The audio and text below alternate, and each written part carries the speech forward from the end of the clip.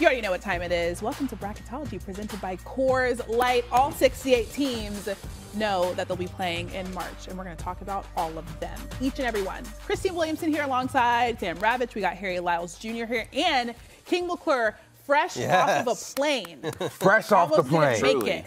I almost, I made it by the grace of God. Yeah. Because I, I my, my bags, I have no clothes, guys. Yeah. You made a pit So, stop though, didn't so? Right. this is this is a thirty dollar outfit from Target. Shirt about fifteen, pants maybe about like 20 twenty dollar cargos. So it's probably like a thirty five dollar outfit from Target. We're How so proud of it? you. I, I have to I like tap into my inner Christine in order Yeah, to yeah. make, make I that go work. shopping at Target all the time, but I do want to ask you, where are your bags currently? Oh, I don't know. But the- based off the recent text I got, they said we have not located your luggage. Okay. Now it was in Kansas Like, City. You will never see that luggage again. no, that, Wow. don't, don't- do not put That's that bad juju It's in gone. the air. What did you fly? I, I flew. I had to. Fly, I was gonna fly American originally, but in order to get here on time, I had to fly United. That's the problem. American? Hey man. No. American Some of- and United, that's the problem. Delta would never. Right, right. Some of us. Delta would literally never. Um, okay, so as I mentioned, we now know all 68 teams that will be playing in March. Uh, what are your initial thoughts, guys, when you look at the bracket, Sam? A couple of snubs. Uh, I- I'll speak for the Big East here. I think uh, getting three teams into the Big East, um, they should have had more, uh, considering what they've been able to do, and some consider the second or third best conference, I think, in basketball. Um, Seton Hall, a team who beat UConn earlier this year, left out. St. John's, who scored more points than anybody did against UConn in the Big East uh, tournament, left out. And Providence, who you know lost a, a key player in Bryce Hopkins this year, um, left out. I, I just I, I don't see this as a three-bid league, but uh, nevertheless, uh, UConn, you know, still probably a favorite, I think, to Yeah. win it all this year. Yeah. Uh, look, for me, if we're talking about teams that, that got in, a team that got in and a team that didn't get in, I don't like that we put Virginia in and Indiana State is not in. Mm, there it is. And, and look, it, it, like it's it's this is very like plain for me, right? And obviously, Yeah. like I was I was caping for Indiana State yesterday on our show. Like to put Virginia in and their style of play and just Don't nobody want to watch how that. much of a snoozer it is when you could have had Indiana State, who has great guard play, 100%. and then of course Robbie Avila, like who would have been a star in this tournament. I Electric, just, yeah. I'm just very upset that we could not. Mm-hmm. Just change that. Everything else, like I'm cool with, man. Like I, I usually don't like to, you know, pick and choose here and Mm-hmm. there, whatever. But like that's one this year I was like Darn. upset about that. Uh, for me this year, it's the year of the guards. Okay, Mm-hmm. I'm a big believer that in order to have success in March, you have to have good guard play. Okay, it's not the year of the big man, not the year of the forwards. It's the year of the guards. So I will strictly be picking my bracket, picking making my picks based off who has the better backcourt. Oh, I like Because that. if your backcourt is better, I think you got a chance. Okay. So that will be my consensus theme amongst this whole album. Okay, uh, that's a really good tip. We'll talk about some more tips for your bracket later in the show. But let's start by looking at the bracket as a whole. And we're going to start in the East region where UConn, the defending champs, reside. Now, this is a pretty stacked region when you look at it. Outside of UConn, there's three other major conference champs in this region. Um, do you think that this is the most stacked region, Sam? I think so. Yeah, but but I don't think it's the most stacked region that we've seen in like 10 years. Okay. Look at what UConn did last year. I mean, they had to go through St. Mary's, Arkansas, Gonzaga, Miami. Those were all top 25 teams. But yeah, I mean, obviously, you look at this up and down. You got the Big 12 champ. You got the Big 10 champ. You got UConn, who just won the Big East, right? This is a uh, a a dangerous, dangerous uh, side of the bracket. Um, but I, again, I don't, I don't think it's anything that UConn hasn't been able to deal with before. So I don't want to overlook it that way. Um, this is a better UConn team than they were last year. I think they are deeper. Um, Ooh, I- better. I, Hot think take, they are. hot take, a little spicy. I think they are better than they were last year. Their offense certainly um, is clicking on a uh, much higher level.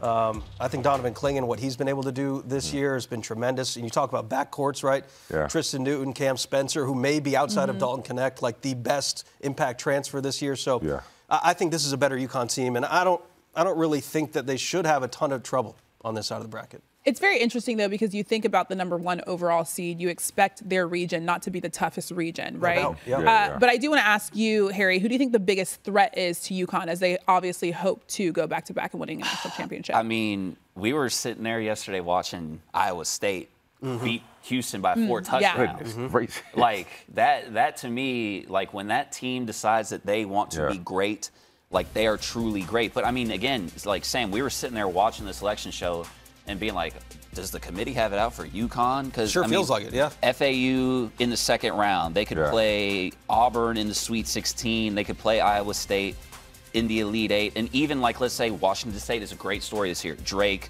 Missouri Valley Conference winner, BYU, Yeah. another team when they decide that they want to be great, can be great. UAB finished really strong this year, so. I, I think out of all of those teams, Iowa State is the one that I would be afraid of if I was UConn. Yeah, yeah. But again, it, to me, you could look at this side of the bracket and be like, okay, I could see how UConn gets through it clean, but I could also see if one team plays their absolute best game, and you know, typically it has taken Yeah. 50% or better shooting from three to beat UConn this year. That is literally what it's taken. Mm-hmm. But you could look at these teams and say, okay, like you could really make a case for anybody. Yeah, but let's not sleep on this second round potential matchup. Okay. Right? I mean, FAU has. Let's say FAU gets past Northwestern. Uh-huh. Not won't be easy, but let's say they do. FAU is a team who's been there, okay? But they didn't have the same level of success that we saw in last year's season. They didn't dominate uh, the American like we expected them to. They had a good year, but not a great year. But I still think my consensus thing when it comes to backcourts, you look at a dude like John L. Jones, mm-hmm. he might be one of the best guards on the floor. It's probably him and Tristan Newton who are the best guards on that floor. So I think you can give them a chance. And they have, why are you looking at me like that? Because I'm thinking about the next question that I'm about to ask you. Go on.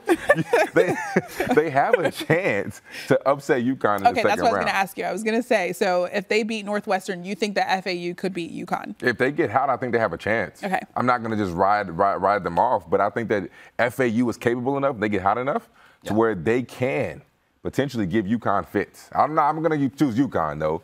Let's make that clear. I'm choosing UConn, but FAU has a chance to give them some fits. Okay, so King wants to see FAU play UConn in the second round. Uh, Sam, when you look at this East region, what potential later ma- later round matchups are you looking forward to? I mean, you, you look at it, uh, obviously a potential Sweet 16 matchup with San Diego State. That's a that's Yeah. a championship Yeah. rematch Yeah. that you could get in the Sweet 16. And um, you know, UConn won every single game by double digits in the tournament last year.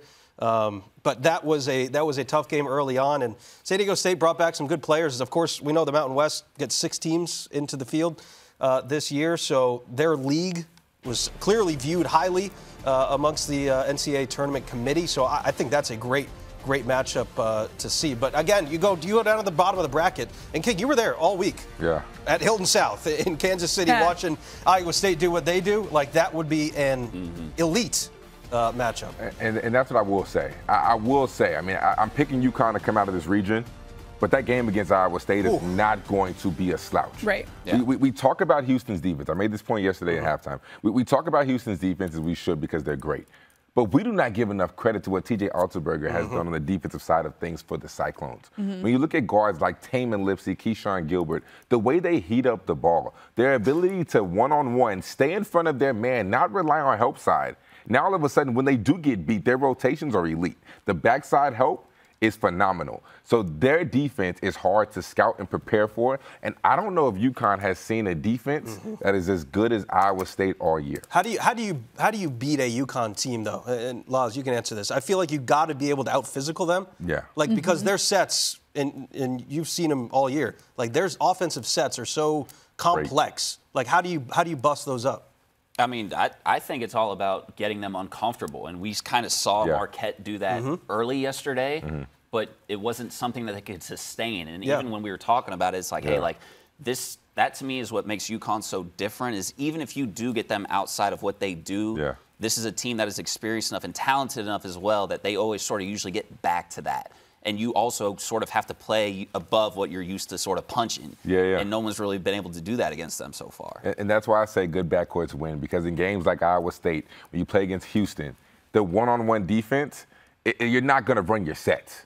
They're going to get you out of your sets. They're going to get you uncomfortable. So what do you have to do? You have to be able to go off the bounce and just make plays. That's one of those games where players have to make plays. The guards of UConn, and they're definitely good enough. Yep. Uh, Tristan Newton, Stephon Castle, they're good enough to be able to take you off the bounce and go make plays. That is a ball game where the best players will win. No matter what coaching you do, the best players will win that game. and you have to be balanced. Like Yeah. I, to me, that is really what makes or breaks a team in the tournament. Yeah. You have to be able to win in multiple ways, and both in your front and your back court. And that's that's sort of why, like again, with certain teams that we'll talk about in this bracket, I feel stronger about than others because you really, you really got to be able to do that. Uh, you mentioned a team in this bracket. I just want to say really fast, you guys can't smell this, but Harry decided to fill out his bracket in Sharpie, and I keep getting whiffs of the It's so Sharpie sweet. We've all I've the way brain cells Yeah. over here. Yeah. Uh, quickly, before we move on uh, to the next part of the bracket, I do want to mention Auburn. Obviously, they won the SEC tournament. Was a great uh, job by Bruce Pearl this season with that team. We saw how emotional he was as they were winning that game. Um, how far do you expect this Auburn team to go? I think this Auburn team's great. Um, we talk about depth too, right, guys? Bruce Pearl has built one of the deepest teams, I think, uh, in the SEC. Dylan Cardwell coming off the bench, obviously, uh, Johni Broome and what he does. Um, I, I- I was really impressed with the way that they not only finished the regular season, but kind of took it to another level once the SEC tournament started. Uh, This time of year, it's all about how you're playing and how your stars are playing. And it feels like Broome and these guys, uh, Johnson, of course, Baker Mazara, like this is a good group that, that relies on their depth, King. Yeah, I mean, when you look at it, we I didn't even mention this the, the Auburn Sweet 16 matchup. That's another Yeah. that's another uh, battle that UConn is going to have to face because the metrics love Auburn. Yes. Mm-hmm. Top 10 offense in the country, Yep. top 10 defense in the country. The only team that does that. The only team in the country. They Yep. play hard on both sides of the basketball. And you know, if you play for Bruce Pearl, you gotta go all out and you gotta bring it every single night.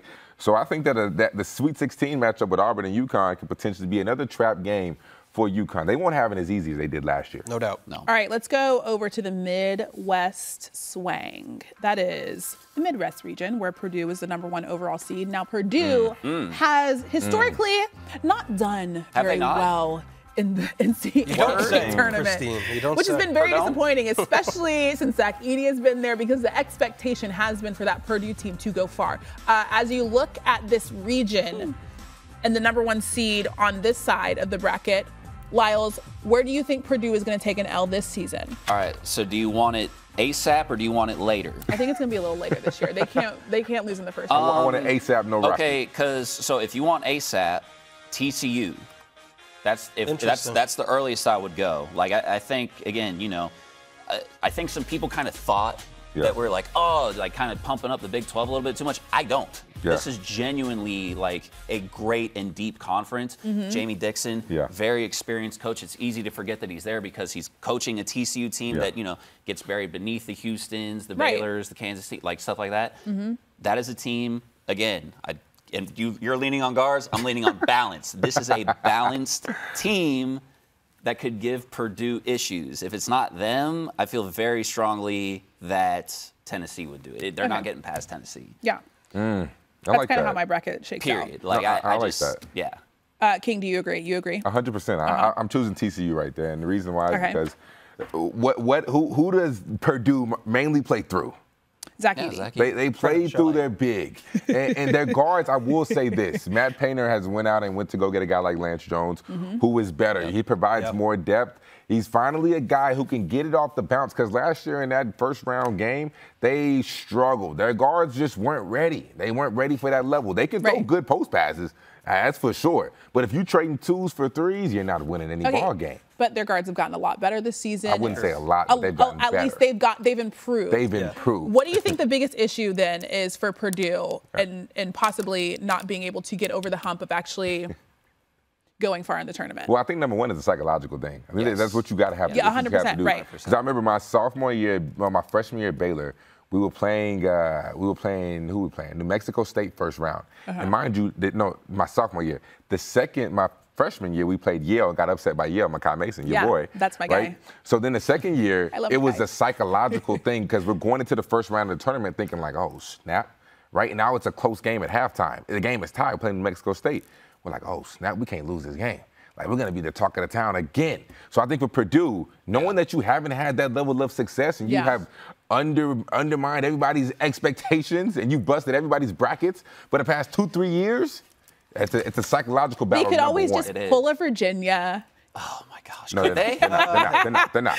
and be like, we never we never want that to happen to us again, and then to shock the world. It's a very real thing though. Right? It is. Like 'Cause playing there's to not you can lose and playing to Yes. win. Exactly. Yes. But there's two different ways that you can look at it, right, King? You can either look at it as we already had the worst possible thing happen, so nothing worse can happen than what happened last season. Yeah. Let's just play. Who cares? We've already done that thing. Or you can look at it like you just said, which is oh snap, we had the worst possible thing happen. Let's not let it happen again this year. Because it could get funnier this year. They could lose to Grambling, who has not been in the tournament until this year. We've been we've been doing this since 1939, right? Oh, man. Yeah. So it, it could get worse if you're Purdue. Now, I I don't think that's gonna I don't happen. think it's gonna happen. let, let- Sam? let me let me get in here. Uh, let me back Purdue for a little bit here. I, I, I think this team could potentially make the Elite Eight Final Four. Look at it. Not only because of the pressure that they have on them, but like there's already this preconceived notion out there that Purdue can't handle the pressure, can't hack it. Um, they they this was a team that finished 11th in the Big Ten last year in three-point field goal percentage. They led the Big Ten in f- three-point field goal percentage. Now, some of the newcomers that they had helped out, but like when you have a Fletcher Loyer, Braden Smith, who Yeah. thank goodness is okay. He was injured in the tournament the other day. He seemed to be okay. When you have them improving and then also playing through Zach Edey, last year they were just so one-dimensional because you Yeah. could you could triple team Zach Edey when they're making shots from the outside. That that makes this See? a, a multi-dimensional team. So Yeah. I, I don't think they're going to lose in the first round. Who- I don't know if they'll win the national championship. yeah, yeah. They'll get out of the first round, and then that monkey will get off their back. They Sure. won't have any more pressure. And then the Horned Frogs will jump on their back. From a monkey to a horned frog. Okay, uh, let's talk about South Carolina. They were picked to fish dead, finish dead last in the SEC preseason poll, and then they came in sixth seed. Uh, they're taking on Oregon. King, what are you looking at when you look at the South Carolina team? I actually really like these guys, and and for me, the, the number that you got to focus on is 70, right? They average 72 points per game. The number is 70. When they score 70 points or more, they are 21 and 0. When they go under 70, they are 5 and 12. The number is 70, and they average 72 a game. I think that this team has an inside-out uh, threat when you look at uh, BJ Mack or Meechie Johnson. I mean, these guys can get it going. They don't shoot the three war. That's my only concern. They don't shoot it well from deep, but they're tough, they're physical, and if they can somehow get the game to 70, it's a dub.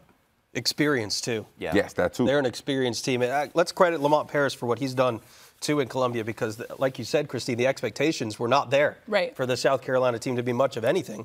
Um, and I think they surprised a lot of a lot of teams early on in the season. But what impressed me most was the later on the wins Yeah. because they were game planning for Carolina, but they were able to to handle it and um, and win some games down the stretch. Okay, so when you look at this uh, Midwest region, it honestly looks like it could be up for grabs, like it's wide open, right? Uh, there's a bunch of teams that I feel like could go far. Lyles, when you look at this region, what teams do you expect to make a run? So I mentioned before that there's a very specific type of team that I like, and it's a team that's got Balance. It's a ba- balance. it's balance. Balance. But but the Okay. other piece of that, you got to have some young guys and you got to have some vets. And in the case of Tennessee, Ooh. they've got a star, Dalton Knecht. Like Yeah. Oh, don't even Okay. hang. Don't even So, hang. my bad, like my that. Which, by the way, young guys and vets is also a form of balance. Balance, good. It is another form of balance. Thank you. So, like, I, I think this team, and, and again, it's that balance. They play on good on both sides of the ball. Now, I will say this, and we kind of talked about this before, Sam, with mm-hmm. Tennessee, their loss in the SEC tournament, it was kind of like, hey, bro, like between you guys, Alabama, and Kentucky, you're Yeah. supposed to be the one team that can defend. Yeah, yeah. And they extremely did not defend in their loss. uh, so that was a little shocking, but I am going to take that as like, hey, Rick Barnes, we're going to Yeah. be like, hey, guys, look, that's if you do that in this tournament, you're not you're not going to be in business. You just got to yeah. play defense for six more games, and there's not a there's not a team in this tournament that you can't beat. So I I like Tennessee specifically in that region, and plus like it, you can work out. I feel like a bunch of different paths for them Mm-hmm. to where this doesn't seem that difficult. I love Tennessee. I absolutely love Dalton Knecht. Mm-hmm. I, I think if it's if there's no Zach Edey playing basketball in college this year, Dalton Knecht it's no doubt about Yeah. it. Dalton Knecht wins National Player of the Year. He is that level of good. I mean, the 40 ball that he is hit that he that he dropped on Kentucky, the 39 against Auburn. Mm-hmm. My man can get buckets, and that's one thing that Tennessee didn't have last year. They did not have a guy in which we call late shot clock guys. Yep. Clock running down under five. Can you go create your own basket and go score at a mm-hmm. high level, at a consistent high level when your team needs it the most? They had Zakai Zeigler who can break people down, but they were very robotic. You add Dalton Knecht to a team that is a veteran, that's led by veterans, that has a Zakai Zeigler who can control the tempo, and now you got a late shot clock guy who can go get you a bucket whenever he wants to. Literally a, a, a formula for success. Real quick, I'll, I'll talk about Creighton in a second, but is Dalton Knecht going to be like the best player to ever win Player of the Year runner-up that we've had in college basketball? Ooh. I, I mean, like Possibly. that's like one A, one B. I don't know if we've had Yeah. a runner-up for Player of the Year like Dalton Knecht before. I mean, that's, that's, that's a great point. Yeah, I, I don't know, um, but let's we'll talk about Creighton here. I, I think Creighton could be a team, uh, Christine, that can um, cause some issues on this side of the bracket um, out of the Big East. They got a big guy. Um, you know, we know what they can do with Baylor Scheierman, of course. Um, they can shoot it from the outside.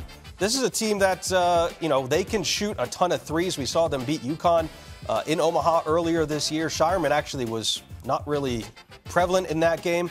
Um, Alexander was great for this team as well. They're an experienced team. Um, and then obviously with Kalkbrenner underneath, I think Creighton could be a team that uh, causes some issues in this bracket. But again, this is a wide open kind of bracket, Yeah. and Creighton had a good year in the tournament last year too. I mean, that Creighton team has three guys that averages over 17 points per game. You're getting about 50 plus scoring from three guys every single night.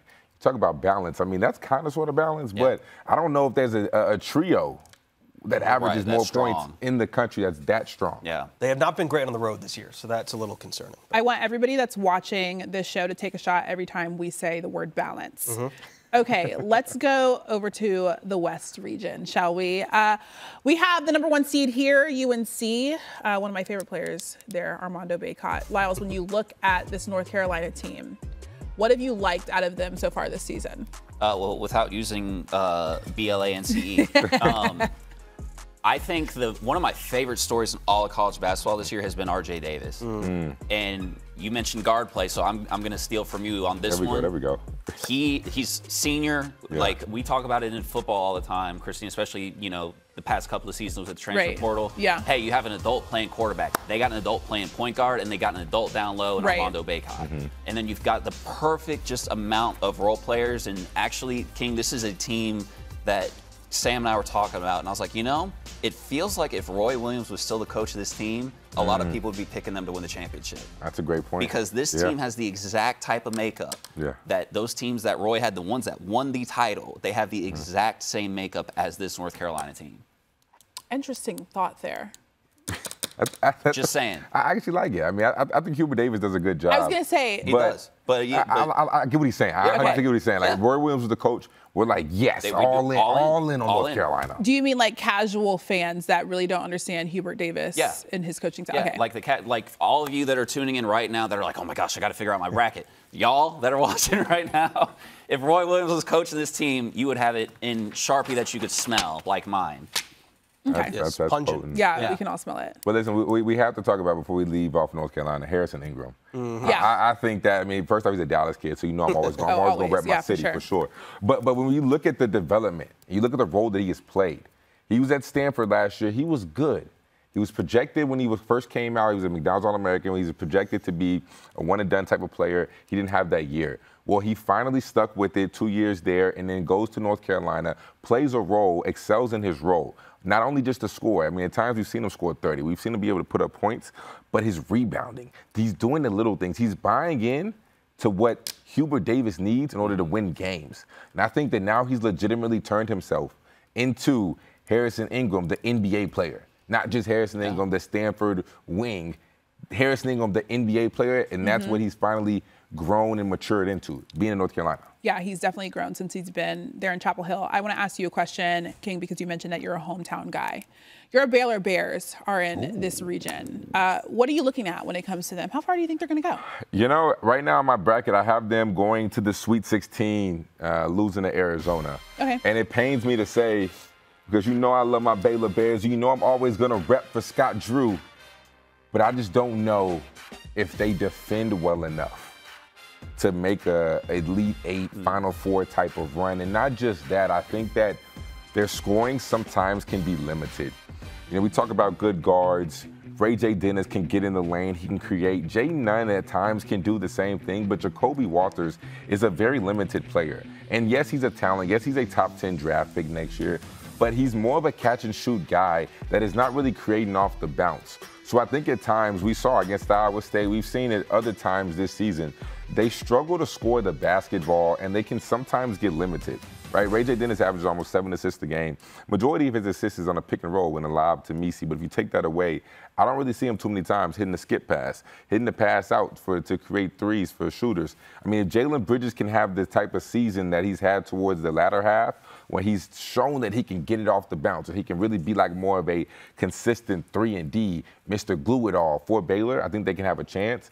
But I, I got them out at the at the Sweet 16. Okay. Uh, let's go to the dirty South, shall we? South region. Dirty That South. is where Houston is the number one seed.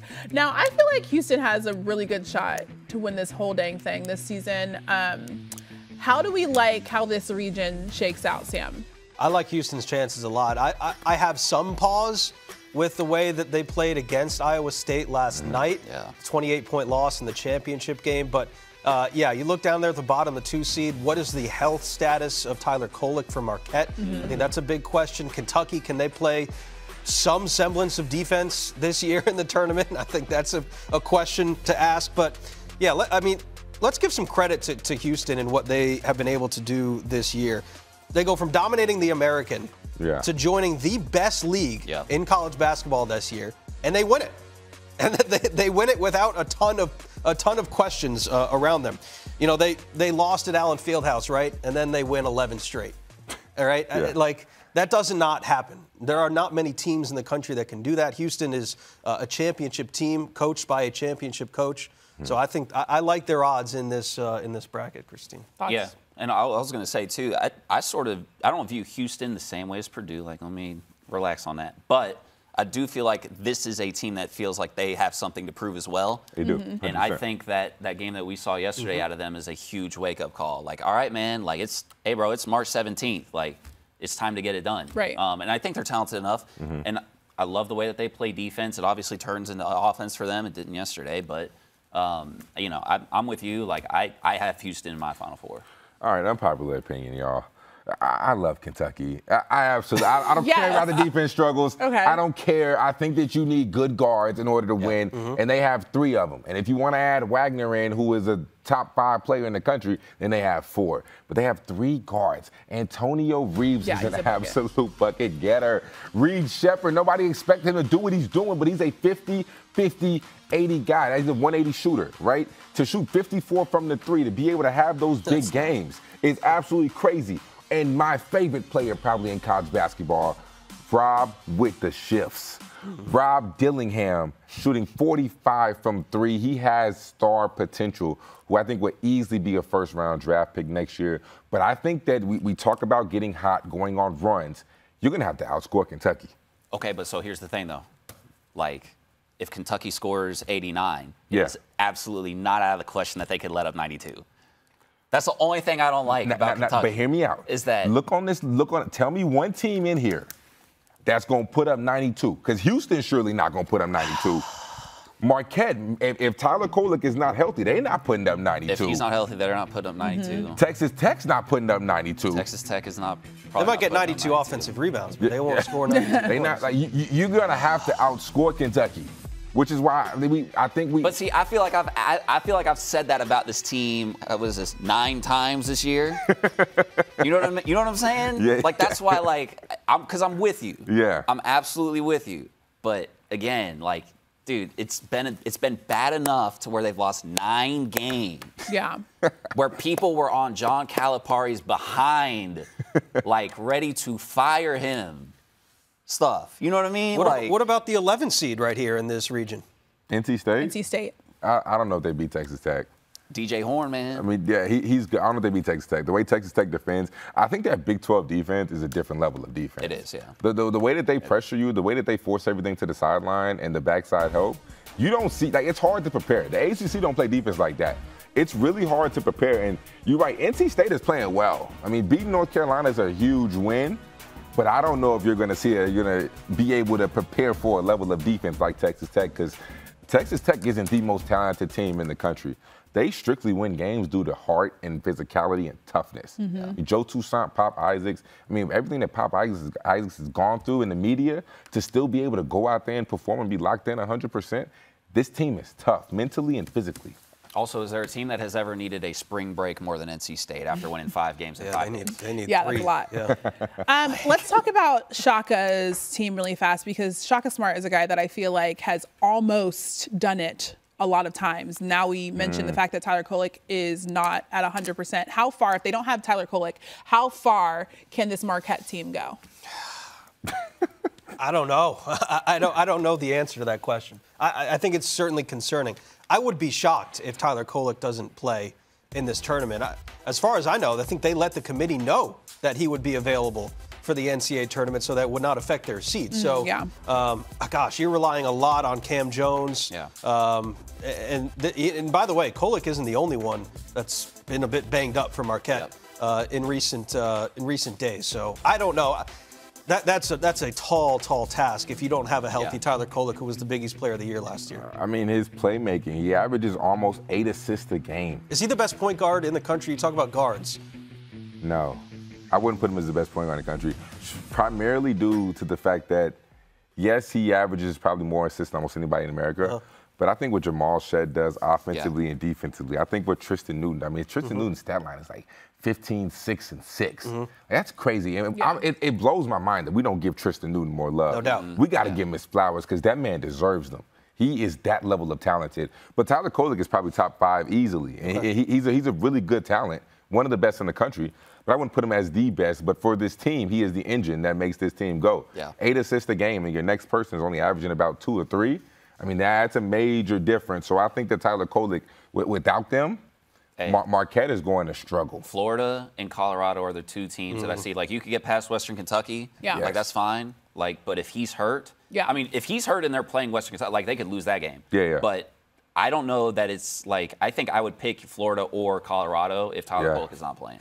Okay, now that we've gone through the entire bracket, you can sign up for E ESPN's Tournament Challenge. Download the app to create your own bracket and compete in the number one men's bracket game. You can create up to 25 brackets, which is sus, but get yours filled out before March 21st if you would like to do that. Now that we've gone through the entire bracket, we have obviously all four of us here. Uh, we're gonna give you some bracket tips. I'm gonna give a tip, and our panel of guys is going to tell you why they think it's a good tip or maybe not so good of a tip. The first tip go chalk early. Do you guys agree with that? Go chalk early. Elaborate. Are you just saying the statement? Yeah, what? Yeah, what? That means that No you- upsets. Yeah. Not a ton of upsets. Oh, uh, my bad. I'm young. I'm sorry. I, I- it's been a long I'm day. young. what does that mean? What in the world? My bad, I'm young. It- it's, it's been a long day. Go Okay. talk. I'm gonna let y'all answer first. Um, I think yes, but I'm young. I, I think I'm dead. I think generally yes. Go chalk early. Um, we've only had I think we had seven upsets uh, in the first round last year. I think we average about eight and a half upsets in the first round. So anywhere between like 15 to like five upsets in your first round, I think is is probably where you want to live. I'm young, Christine. Uh, but I, I think it, so. I agree with it because obviously, like, bro, we did the seeding off the teams because they were the best teams during the season, Yeah. right? Right. But I think the way the place that I usually come down on it is like when I think early, I'm thinking like like for obviously first and second round. But Right. I think once I get to the Sweet 16 and Elite Eight, like it's, it ain't all cute Right. and stuff like that. Now Yeah, it's, it's time to it's time to play Time for ball. business. Right. Like and, and we get to the nitty gritty. So, but yes, it is it is a good tip. Just never fill your bracket out with Sharpie, please. Yeah, because filthy. that's bad. Hey, bro, you guys, uh, it's hey, the wheel is slowing down, Now bro. that you know, do you agree with that? Yeah, I mean, I, I, you know, I'm not gonna lie to you. I still don't fully understand. Oh my God. Okay, let's go to the next one. Uh, the next tip is the 12 versus 5 matchup is a good place to find an upset, and so is 11 versus 6. Yes. What's a good 12 5, 11 6 game that you guys think that we should keep an eye out for? I know I'm a Sun Belt guy. James Madison versus Wisconsin. Ooh. I know Wisconsin, you know, just got to the Big Ten title and everything. Um, but again, this is a James Madison team. I think they only have what th- three losses. I don't have that on my bracket, but I, I they they have not lost many times this year. And I and I know a lot of people are like, oh, mid major, yada yada. Okay, cool. Like they still know how to win basketball games, and this is March. Yep. Magic happens. I just that's that's where my eyes went. I, I know NC State is hot still for a lot of people. Mm-hmm. I think they're going to be a little tired, um, but I'm going with the Dukes.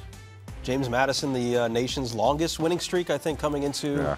uh, the NCAA tournament, winning 13 straight. Um, pretty cool for the Dukes. And by the way, you go back to the like the opening day, I guess, of college basketball. James Madison beat Michigan State. Yep. And look at where we are now. Um, but uh, I think I'm looking at this 11-6. I know, King, you said you're, you're high on Texas Tech, and I agree. There's something about momentum, and there's something about like March that just makes you want to root for a Yeah. uh, a team like NC State.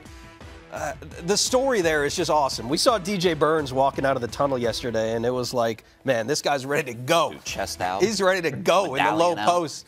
Um, obviously, DJ Horne and what he did, um, working through foul trouble yesterday as well. Um, Diarra, I mean, fasting for Ramadan. Like this, this whole team, I feel like is uh, is just uh, has been a movie this year, and I, I kind of want it to continue. But we'll see what happens in that 11-6. Uh, I'm giving you two 12 fives.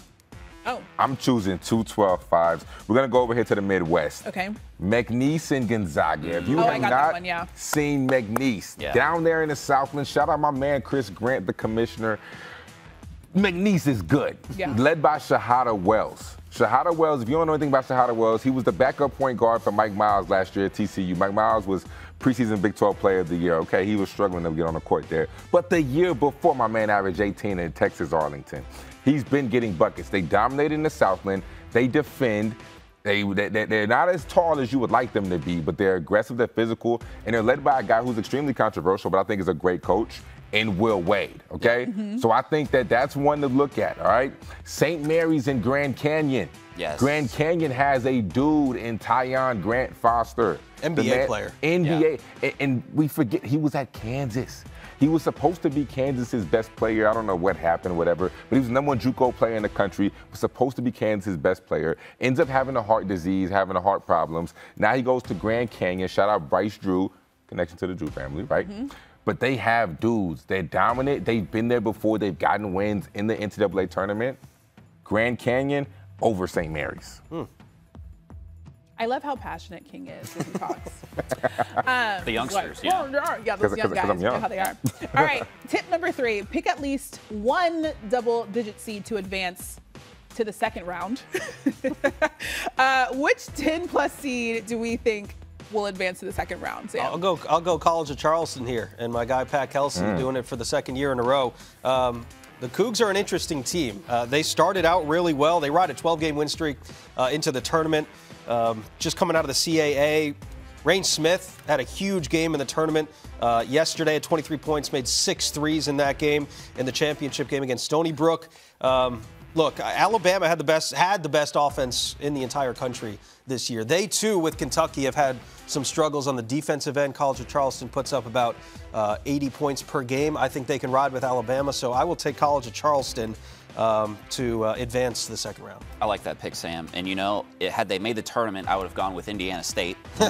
but they didn't because they lost to Drake. And I'm going to go with the Bulldogs of Drake. I like Drake. Dre. And, and Drake. like not only because uh, obviously we've got the Drake meme. Christine's been doing that all night. She by has way. been doing it all night, among other songs and dance. But he, that's neither here nor there. Uh, this Drake team, man, they've got Tucker DeVries. Bucket. He, he, man, like he absolutely. I think he scored something like 17 consecutive points against Indiana State. This is they are going to be one of these these March stories. He has a big game. His daddy's the coach. America's going to fall in love with him, and then they will lose to Illinois or Iowa State. Okay. All right, I'm gonna give y'all a crazy one.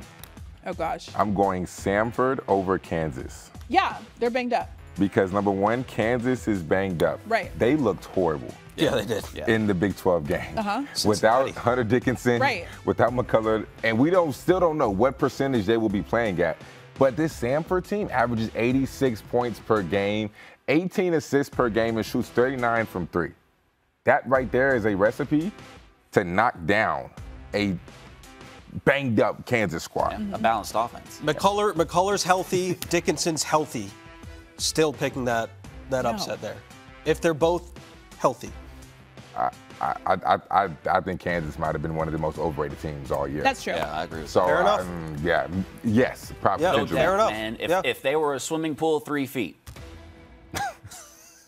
I'm, I'm young. I don't get that one. Either, I'm not gonna lie. they don't have any depth. No doubt. Shallow. That makes oh, sense. that was, hey, that was They- good. That was really creative. slow. That was apparently, actually on really this. Hey, I- get you a Georgia. State I was education, so- that didn't make any sense to me either. Uh, my microphone also just fell. All right, uh, tip number four, if you're wondering what I'm doing. Tip number four, pick a seven seed or higher to make the Elite Eight. So which low seed do we like to make the Elite Eight? Uh, yeah, I'll take Michigan State here, Christine. Okay. Um, I look count out uh, count out Michigan State at your own peril for uh, Yeah.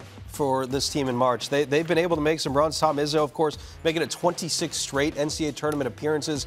Keep in mind too that this Michigan State team was started the year preseason. They were number four in the country and then just fell off of a cliff. But they showed some signs this year that uh, they can make a run. Made a run as a seven seed to the Sweet 16 last year. Remember they beat uh, USC and the two seed Marquette. Um, but man, they beat Baylor by 24. King, you remember that one earlier this year? That was uh, Oh. Wow, that's rude. that was Yeah, that- uh, that's crazy. you know that was that was one like of their that. highlights. But um, I don't know. I could I could see it. No, I like that. And Michigan State has done that before. I mean, where you know they, they perhaps didn't perform what Yeah. they would have hoped in the regular season. They made a tournament run. I am going to go with TCU because in like part one. of like that that Kansas. like so that. I I've like got that them beating Purdue. Yeah. Right. I, I have them getting Kansas, and I've got them beating Kansas. Yeah. And then I have them ultimately losing to Tennessee. But again, that balance, man. Like this team, like I think they are built, especially in this particular region. Mm-hmm. If it was set up differently, I would I would certainly feel different. Yeah, yeah. But because because it is Purdue, because it I think it would be Kansas, and they don't have that depth. I think TCU is the team that is set up nicely to make a run if they're playing their best basketball. Yeah, and I, and I give you one, another crazy one, right? And I hate to do this, but New Mexico. Because they're, gonna eventually, like they're eventually going to have to play against Baylor. And, and I, I will say that if New Mexico can get hot because they won their tournament, when you look at Mashburn, when you look at House, when you look at Dent, I mean, they have three guards who are excellent. Maybe as good of a trio as anybody in America mm-hmm. that we really don't talk about because Yeah. they're such in a lower conference. So I think if those guys get hot with the way that they're playing right now, with the way that they're defending, sharing the basketball, I think that could be a team that can cause some problems. And Baylor has had their, their struggles as far as defending good guards. So I think that those that trio can give Baylor fits and potentially knock them off in that. We've been trashing. Baylor. Watch, they're going to make it to the Final Four this year. I hope so. Do you have them in your Final Four? I do not. Okay, so then they're not going to make it. Um, last year I chose Miami in my Final Four. Look what happened. Why'd you choose Miami? Because it's great to be Miami Hurricanes. Where's Miami this year? I didn't see them. You, you shut up. Uh, we, that wasn't good. All right, number five. The uh, final tip is don't pick all one seeds in your final four. All of the guys believe uh, we already talked about this that Purdue is the most likely one seed to win. Now earlier I, or to lose. lose. I, earlier I said UNC, so thank you so much for these UNC highlights. But now looking at the bracket, I actually want to say that I think UConn is the most likely to lose only because their region is so freaking stacked, right? They have Auburn, Illinois, what, Harry? You have had way too much of this marker. but like their their region is stacked. It I is. feel like they're more That's they're most That's likely fair. to get upset before the final four.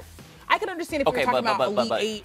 But before the final four, But all- but- Purdue's but- region is is But of all is of very the soft. ones, Christine, of all the ones, Okay, like Purdue still Houston, exists. Houston, Houston. Houston, Easily There's Houston. Houston. There's Houston Houston. just lost by four But- touchdowns. Yeah. Right. I, okay, so I can see how, but I'm well. All I'm saying is I don't think that Purdue is necessarily the most likely. No, you're because they right. are a very aside, you're right. easy Yeah. region. I hear you. Easy, they gonna lose second round. What? You talking about easy? We got them losing second round. Anyways, you do. Okay, so a couple of other tips. If you pick your champion from a traditional power school and pick a team in the top 40 of defense, all those tips will help you from reacting to your busted bracket, like one of these guys. Yeah, um, I'm done. Take that stupid hat.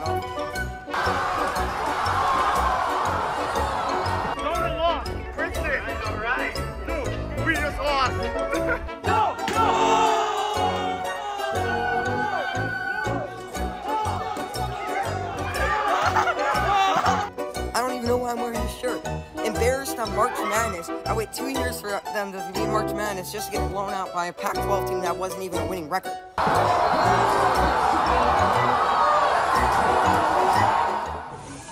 All right, let's take a look at busted brackets presented by Coors Light. Which, by the way, guys, that is why some people fill out 25 brackets, which is a little much, but that's why because you don't want to react like that. So At least what- one of them has what's to the do number? something. What, what's the limit of, of, of number of brackets? I you fill told out? you if you do it on ESPN.com, you get 25 brackets. No, no, Oh, no, so no. Well, what, what's the limit? Like the normal limit? Like if you exceed this number, you're, you're, you're considered a little weird. More than two. If you're doing more than two, you're doing too much. You can fill out 25 brackets. Um, if you want She for the took that personal. Don't challenge. She took it me. personal. Yeah. With, with No, I don't fill out more than two.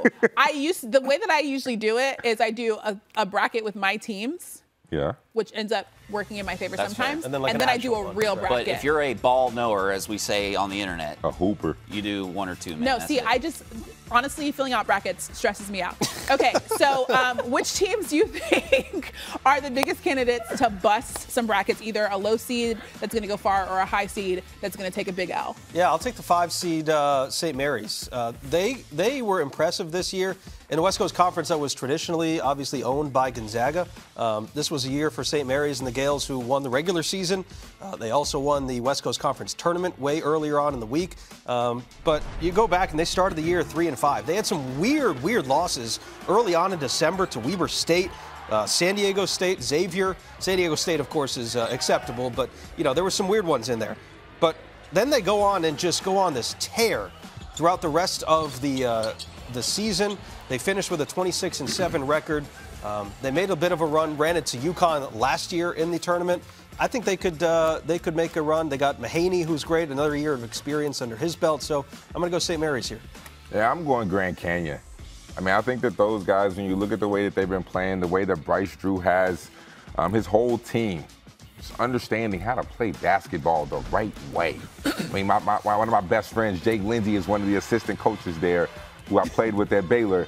And so I, I actually watch these guys a lot. I watch them, and I'm like, these, these guys can actually really hoop. I mean, they have one of the best environments in college basketball. They're tough, they're physical. And, and the biggest thing I like is one on one. What, what is my theme all day, Christine? What? What's my what, what's my what's my theme, Christine? Your all day. theme? Oh, um, I forgot already. Guard. oh, guard, Guard, play, guard play. Sorry, I was reading something else. Hey, I'm telling you, bro, that marker hitting I heard, hard. I heard you say one on. Okay, can I please tell you honestly what happened? You said one on one, and you guys know every time I hear something, it triggers a song. So I was singing a song Here in my go. head, and I didn't hear anything that you said because the song was playing. But yes, you've been talking about good guard play, What and that's song the- was in your head, Christine? There's a song for a show called One on One. There's It's a theme One-on-One. song. Yeah. Yeah.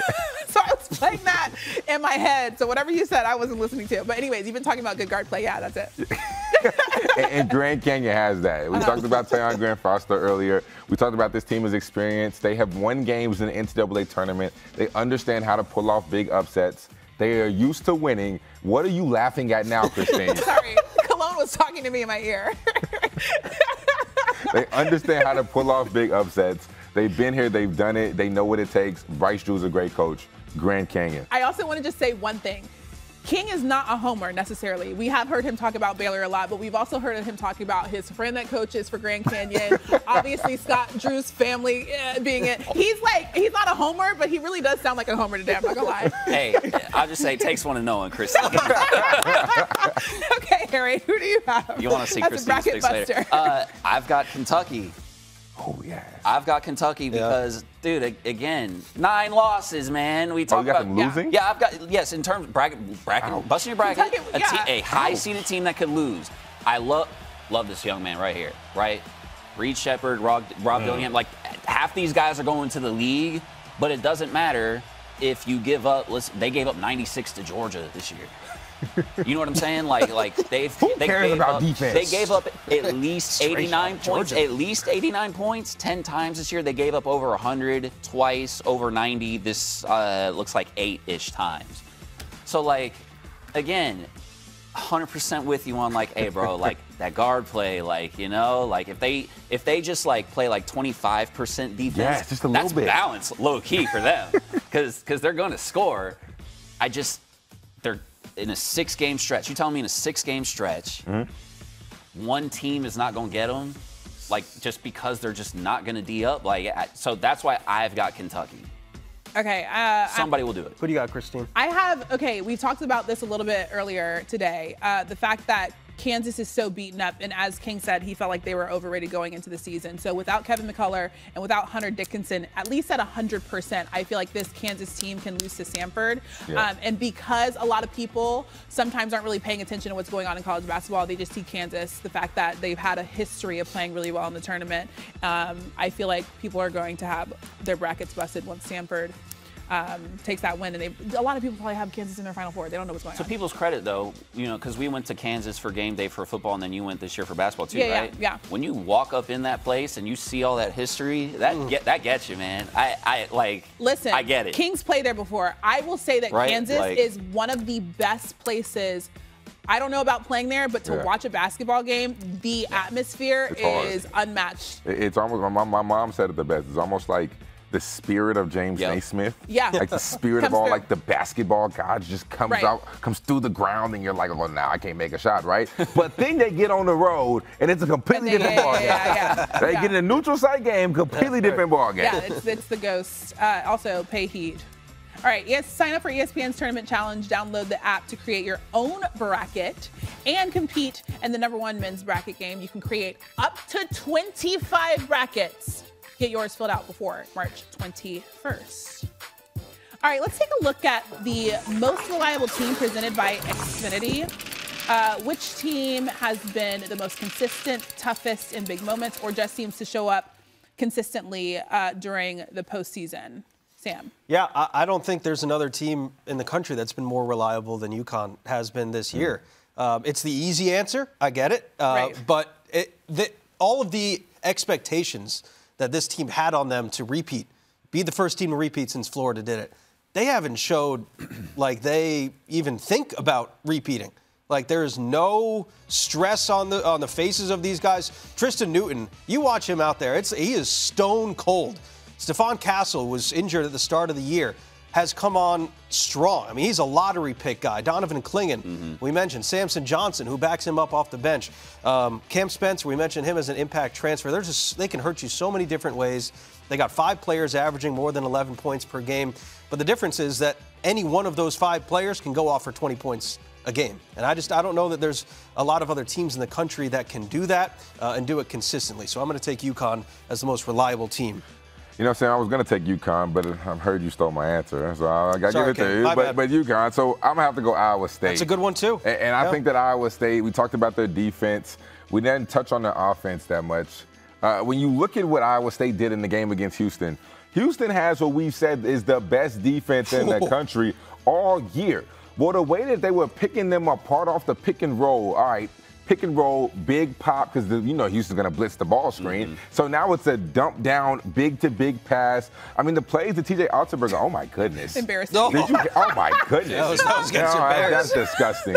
But- oh, but the, but the way that they broke down Houston's offense and we're, we're, we're getting wide open look after wide open look. You know, Momcilovic is a guy who we don't talk mm. much about, but he's going to be an NBA player in about a year or two. The first game against Houston, when he took the shot, the fadeaway shot, baseline fadeaway for a game, and they ran the play for Momcilovic, a freshman. You know, the, the, the trust that they have in that young man is special. Harry, before you go, King, if you get your ankles broke like that, What are you, are you, are you, you gonna, are you gonna calm me? no, I'm saying if you get your ankles broke Oh, like okay, that, okay, how, yeah, yeah. like what? How, how do you feel? You just get up. It happens. It's part of it. It's, it's almost like getting dunked on, right? You get dunked on. You get. Which you get, one is worse? I feel like getting broken ankles Yeah. is a little Because you, you booty to the ground, like you're on the ground. Broke, broken ankles might be. Yeah, worse. 'cause you Right, gotta yeah, get yeah, At least when you get dunked on, you just gotta okay. Let's And then you have the slither of hope As that he might, as that you he might have miss. a- a- yeah. Yeah. Right. So it, bro- broken ankles is worse. Yeah, yeah, okay. As long as you don't have a poor reaction, like uh, when if you Shaq fall dunked on Chris bad- Dudley. You can't get mad. like, yeah, yeah, yeah, yeah. Yeah, yeah, Hey, that's you, true. you can't get mad. Yeah, yeah. You, you, you got yeah. You got to get up and keep running. You got to you got to keep playing. Right, right. Next play mentality. Yeah, yeah, But if you get mad, then you just look. You look. You look. Yeah, you yeah, look- that's you know true. what I mean? All right, Lyles, who do you have as the most reliable team? I got North Carolina. Okay. Again, Mm. I, I- I still say like this feels like the recipe that they always have when they win a title. They've got the experienced guard, ACC Player of the Year, who somehow also was not even I don't think on any of the uh, preseason All ACC teams. Yep. Crazy. Uh, for RJ Davis, obviously Armando Bacot. Cormac Ryan, when he decides he wants to score 25, he can do it. Yeah. Um, and then I think that there's going to be a game or two where there is the Elliot Cadeau, the Seth Trimble game. Mm. I, I just this that's that's the makeup of this team. That is part of the recipe. Like one of the youngsters is going to have to come in Yeah, yeah. and save you, and it- one of those guys at some point, watch, it's it's going to happen. So I've got North Carolina. Yeah, North Carolina was so close in 2022. And they do so have something I really to want them to Yeah, they do. Similarly yeah, to Houston, right. similarly to Purdue. especially with Not nearly as Bacot's bad. last season there. He's an old guy um, that obviously wants to win a championship before he leaves Chapel Hill. Okay, I have UConn as well. You said a million and one things. I do want to say though, it is so interesting because Dan Earl, Dan Hurley is such an interesting coach. Like his personality, I, I talked to him when we went to UConn this season. It's just such a very his players are super tight with him in a way that I don't feel like I've seen with a lot of coaches. They have like a very close relationship, almost like a brother relationship rather than like a father relationship. And I feel like this team, the way that he coaches this team, um, yeah, I just feel like this UConn team is different. Hey, you gonna break the desk? It's She got This is what I can't. we got up. pens, we got sharpies, Right. we, got, we got it all today. Yeah, no, the Sharpie is the thing that's taking over the show. Um, okay, so what are we doing next? Balance. Oh, okay, uh, the time has come to take our picks. Oh, sorry, we're doing the tournament challenge again. Sign up for ESPN's tournament challenge. Download the app to create your own bracket and compete in the number one men's bracket. You can create up to 25.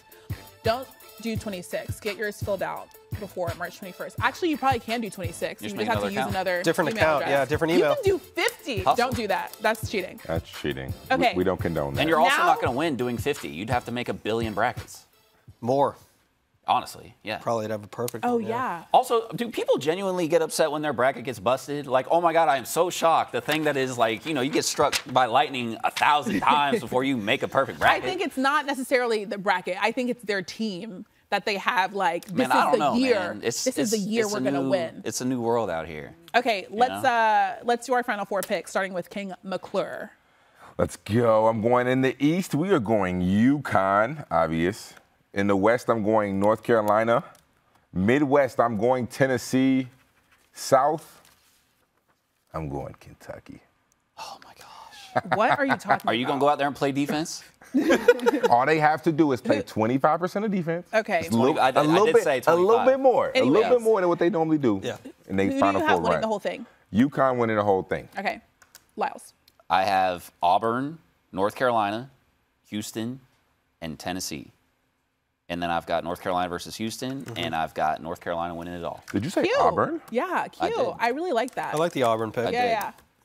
I did. Shout out to Johni Broome. Balance. Yep. They're better balanced. Sam Ravech, who you got? Yeah, I'm going UConn, Arizona, uh, Kentucky as well. I like that pick, King. And I'm going to go Creighton. Uh, they made a I run like last that. I like that. I like They that. can shoot the lights out. Um, they're kind. I, I don't want to say they're like UConn light, but they do have a lot of the similarities that UConn Mm-hmm. has um, with a seven-footer, a guy that can make threes as well. Can we like Kentucky has two lottery picks on their team with Dillingham and Sheppard, and they both come off the bench. like, what man. are we doing? I, John Calip. Yeah, it's never wild. mind. we'll save it for tomorrow. Yeah. Okay, What do you for got, my final four, I have UConn. I'm going to the South next. Houston, Tennessee, and then finally we have the number five team that finished the regular season in the ACC at number five, Clemson Why is that? University. Because listen, Coach Brownell, whatever. Anyway, What? Just Coach Brownell. Anyways, I feel like this Houston team is going to win the whole thing because, you know, as you mentioned, they were playing in Hilton South. That is Yes. one of the toughest places to play. When you're playing Iowa State Yes. in a Big 12 championship, it might as well be a home team or a home It game was, for Iowa yes. State. Um, so I feel like Houston uh, got a little kick in the butt, realized Mm-hmm. that they were not invincible, and I feel like they can go through the entire postseason. And they were also kind of banged L. up too, to your point. Yeah, exactly. Uh, any final thoughts when it comes to this bracket, guys? Don't be disappointed when it doesn't work out. No. You know, Don't break your this is supposed to be fun. Yeah. Enjoy. Also, if you're filling out a CBI tournament bracket, Evansville Purple Aces. CBI. Just saying. Who who feels how to? I don't know. There's some, I'm certain there's somebody looking through this lens. People That, do. that is, hey man, all these parlays and stuff like that You y'all gotta- be playing. I know to do- somebody's filling out a listen, CBI next bracket. we're doing our CBI bracketology show. so you better have one filled out, King. Are you good? Any final thoughts from you? He just hopes he gets his suitcase by the end of the night. Honestly, that's really That's. I, that's really all I'm focused on as soon as we leave this. Because I got to call United or American. Don't ever fly that again. Uh, don't don't don't be disrespectful. I'm just saying that was the okay. problem. All right, guys. Thank you so much. Yes, Don't use the Delta for Life. Sharpie. Our producer Chloe just told me in my ear. Yeah. Do not use a Sharpie, please, unless you're trying to kill everybody around you. Thank you guys for watching Bracketology presented by Coors Light. We will see you on this exact show next year. Don't hold your breath. Or eat Sharpie.